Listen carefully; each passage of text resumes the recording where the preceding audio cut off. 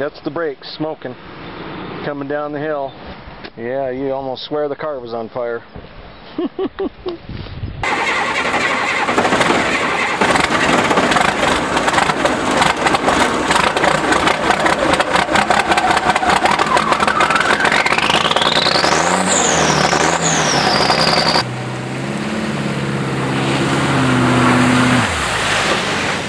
Ah, yes, the testosterone sucking minivan. It made a great lumber truck in its day, and it also weathered a storm quite well.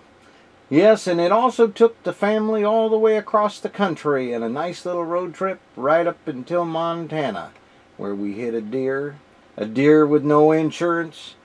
It really smashed up the front of the truck pretty bad. As you can see, the damage was bad enough. But they take that serious. The deer got the death penalty. Poor deer.